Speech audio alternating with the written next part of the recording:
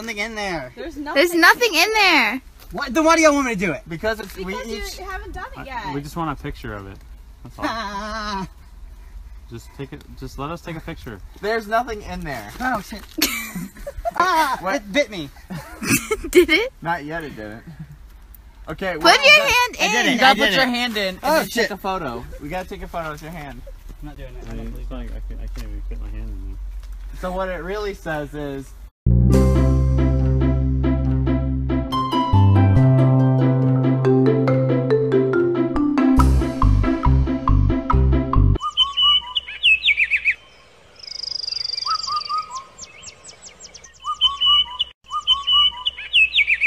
Things in this tiny Airbnb that just make sense. So my boyfriend and I decided to go here for our 21st birthdays and it was the coolest place ever. This tiny window leads to your own private plunge pool. The giant window next to your bed so you can wake up to this beautiful view of Santorini. There's a bed next to your pool so you can tan and eat breakfast on it. You're in a mini cave house so you're surrounded by curved concrete walls and it comes with free kittens. I'm just kidding, but every morning there was this really cute cat that would come and visit us and try to eat all our food. I'm going to explain this video.